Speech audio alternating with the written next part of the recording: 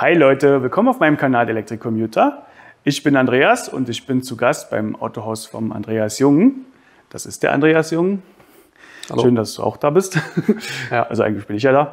Ähm, ja, hier, das ist die Emma in der 2022er Version.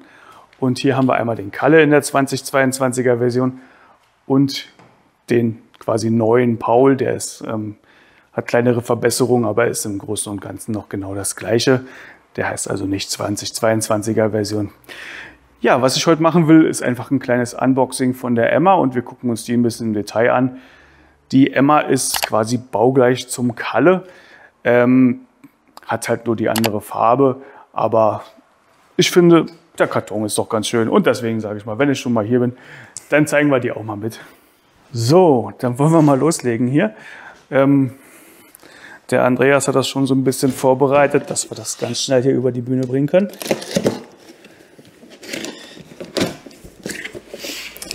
So sieht es im Karton aus. Da ist die Emma. Das nehmen wir raus. Und da ist das Trittbrett schön in weiß. Als nächstes kleiner Kraftakt. Wobei so schlimm ist es jetzt nicht. Die wiegt ja nur 13 Kilo. Ich muss das hier zuhalten, denn hier ist das Ladegerät drin. Im Karton gibt es noch eine kleine Tüte. Ich weiß nicht, ob die Dame auch Emma heißt, aber die ist jedenfalls auf der anderen Seite zu sehen. Ja, schauen wir einmal kurz auf den Karton. Hier steht drauf Emma Setcard. Reichweite 30 Kilometer, Turbomodus, Bosch-Motor, Wirtschrauben. Leicht und kompakt, 13 Kilo wiegt die Emma, genau wie der Kalle.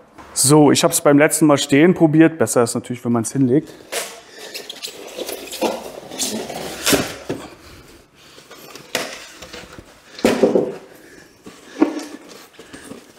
Da musst du mir doch ein Messer geben. So. Da ist die Emma, so liegt sie drin in ihrem Bett hier. Ladegerät, genau wie beim Kalle, 42 Volt, 2 Ampere. Guck lieber nochmal nach. Ja, stimmt. Der Lenker.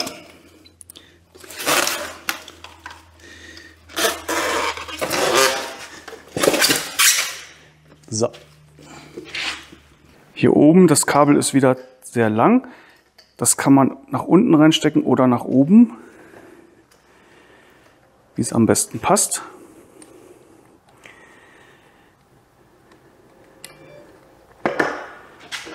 So, jetzt fehlen noch die Schrauben.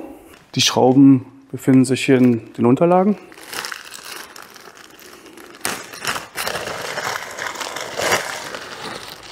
Zusammen mit dieser Ventilverlängerung. Und hier ist noch eine Abdeckkappe für den Ladeport. Scheint eine Ersatzabdeckkappe zu sein. Die war jetzt beim Kalle nicht dabei. Interessant. Dann schrauben wir hier mal die Schrauben rein. So, da steht die Emma. Direkt daneben der Kalle. Wie gesagt, einziger Unterschied die Farbe und der Karton.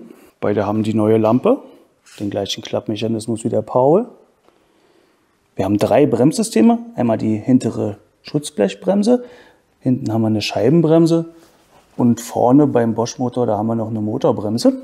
Da steht Bosch. Das Trittbrett sieht doch wirklich nett aus in weiß. Ich weiß nicht, wie gut man den Staub denn darauf sieht, wenn man mit den Füßen drauf war. Beim Kalle sieht man es auf jeden Fall ein bisschen. Hier haben wir die Zoom-Bremse, den Einhebel, die Klinge. Hier beim Kalle sehen wir jetzt mal den mitgelieferten Handyhalter in Aktion. So schaltet man den ein und so geht die Beleuchtung an.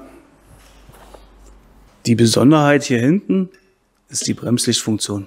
Das geht bei der Emma natürlich ganz genauso. Im Gegensatz zum Paul hat die Emma, genau wie der Kalle, keine Blinker. Die Reifen sind noch besonders. Wir haben hier 8,5 Zoll schlauchlose Luftreifen. Das haben nur Kalle und Emma.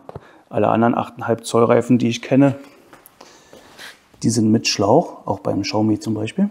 Hier noch mal kurz die beiden nebeneinander. Da steht in Silber Emma drauf und da steht Kalle. Das sieht man natürlich vom Kontrast ein bisschen besser. So sehen die beide von hinten aus. Und hier haben wir den Lenker.